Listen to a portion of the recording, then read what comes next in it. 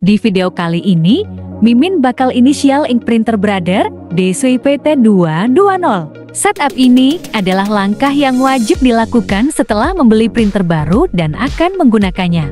Pertama-tama yang harus dilakukan adalah siapkan tinta dan masukkan tinta sesuai petunjuk warna yang tertera pada tabung tinta printer. Setelah itu, buka cover tabung tinta dan buka penutup tabung tinta sesuai warna yang akan diisi tinta.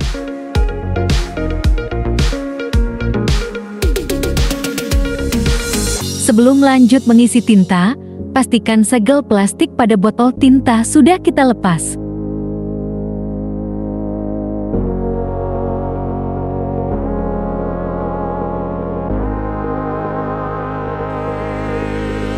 Kemudian, masukkan tinta satu persatu sesuai warnanya masing-masing.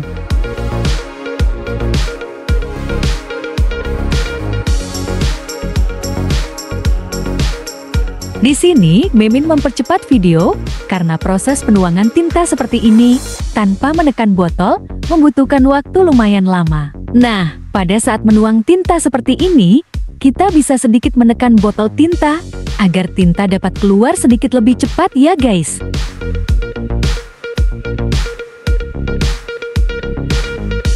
Jika sudah, kita tutup kembali penutup tabung, lalu kita tutup juga cover tabung tintanya.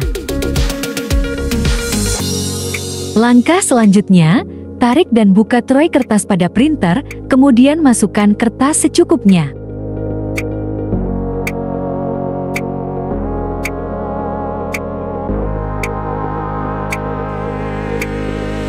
Lanjut, kita siapkan kabel power untuk menyalakan printer.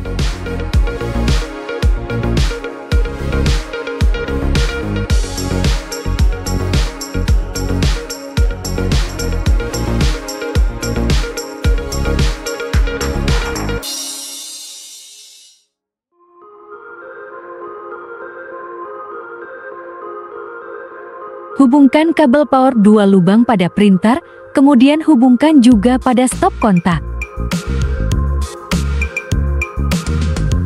Maka, secara otomatis printer akan menyala dan lampu indikator power akan mulai blinking atau berkedip.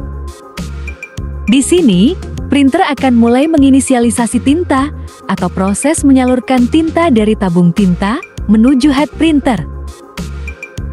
Pada proses inisial ink ini, biasanya membutuhkan waktu 5 sampai 10 menitan ya guys. Nah, jika lampu indikator tinta sudah mulai blinking seperti ini, maka langkah selanjutnya yang perlu dilakukan adalah menekan tombol kapi clear selama 3 detik. Setelah menekan tombol, lampu indikator power dan lampu indikator tinta akan berkedip secara bersamaan.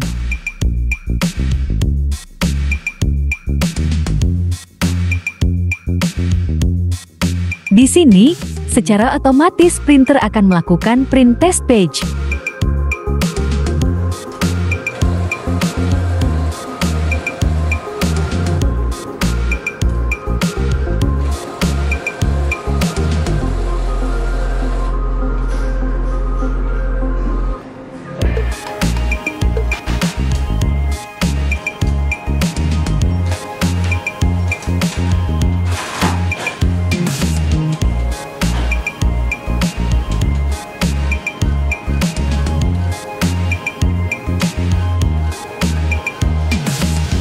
Nah, jika sudah bisa print test page seperti ini, tandanya printer sudah bisa digunakan untuk mencetak. Selamat mencoba ya teman-teman, semoga dapat membantu dan bermanfaat. Jangan lupa like, comment, share, dan subscribe channel ini, agar kalian tidak ketinggalan tutorial dan informasi menarik dari kita. Assalamualaikum.